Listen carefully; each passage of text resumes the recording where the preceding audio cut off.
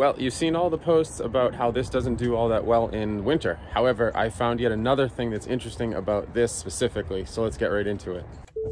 So in my previous videos, I mentioned that this thing has some rather interesting issues in the winter. One of those interesting things is that when your battery is cold, which you can see here because I just started the vehicle, your acceleration is uh, considerably dropped actually. So I'm at 62% acceleration. And as the vehicle starts to warm up, similar to a gas powered vehicle, I'll end up getting uh, more acceleration percentage. By heading to a fast charger, uh, I'm gonna get this up to probably about 80%. And I will show you where while I'm driving, the percentage of acceleration will actually increase.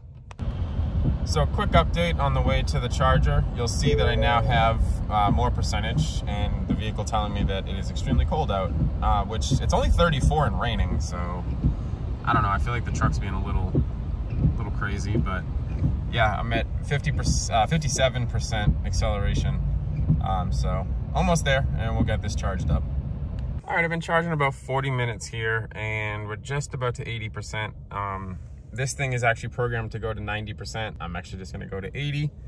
And you'll see that with a mixture of the battery being warmer, of course, because I've been sitting here, and the fact that the battery is more charged allows you to have your full acceleration. So this really isn't mentioned by Ford um, in any other literature or marketing, but quite honestly, I don't think they've added much in the way of, you know, cold temperatures or performance, you know, in sub standard conditions, be it low battery and or cold, plus also, you know, the fact of both of those. Um, so it's just, to me, it's kind of strange that they're not being forthright with how these vehicles perform in different conditions. All right, and there you have it. 133 miles of range, which should be way higher, but again, it's cold and 100% acceleration. So as you can tell from this, I'm not getting my proper range uh, because I'm at just over 80% and I'm only getting 133 miles. I should be at 230 miles, but of course I don't see that in the winter months.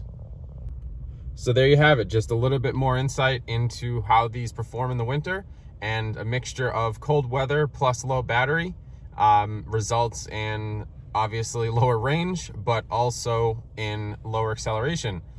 Uh, this isn't particularly an important thing unless you're racing the truck with one obvious exception if this drops down below 50%, you really don't have the ability to overtake on the highway as much as you would want. And that's something that you got to kind of plan for uh, if you're driving on the highway often. All right, so there you have it. Nothing but the truth from this channel. As always, I appreciate you guys' support on the channel and just, you know, liking, commenting, subscribing really helps me, helps the content get out there. And hopefully you enjoy the real world life of owning an EV. And soon enough, uh, not 100% sure on details just yet, but I will have something new that requires gas, so be on the lookout for that.